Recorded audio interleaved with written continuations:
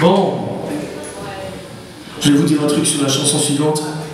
C'est une chanson sur euh, les gars qui, euh, qui disent des trucs sur scène en fait. Ça s'appelle Prenez garde aux démagos. Allez, ah, faut passer le pas croire, tout ça